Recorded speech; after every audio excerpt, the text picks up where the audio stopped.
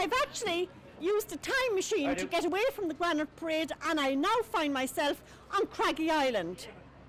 Father Ted, How are you? what brings you Dougal, stop. what brings you here today? Oh, Dougal got an invitation to come over to Granard today. Right. And we said we'd bring the bishop with us and should Father Jack.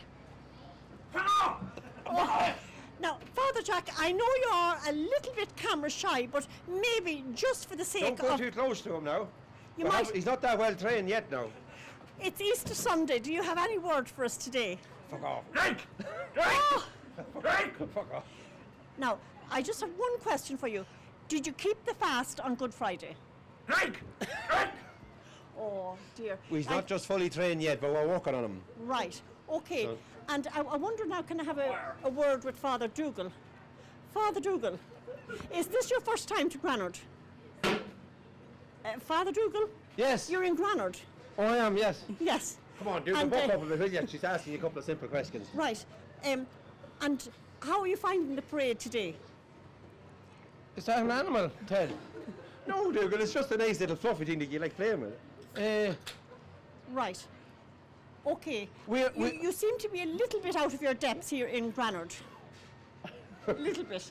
Okay. and I have to say, we have a wonderful collection of sisters here. Sister Concepta. She's only a new nun. A new nun. Okay, Sister Concepta, what order are you? Order them out. Mercy. You're a novice. Novice. You're a novice. And this here looks like the Mother Superior.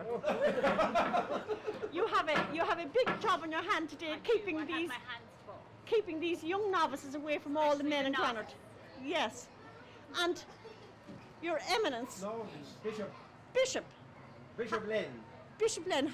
Oh, I'm You- sorry now. Will you don't kiss the back of his ring, no? We're, we're, we're liberated now up here. We don't I'm kiss just the trying to keep some order. right. Trying to keep some order. As you can see, it's quite difficult. Right.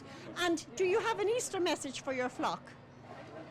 Enjoy the parade. Uh, that's really all I have to say. You don't really say that much anyway, but that's enough probably for you to say. Right.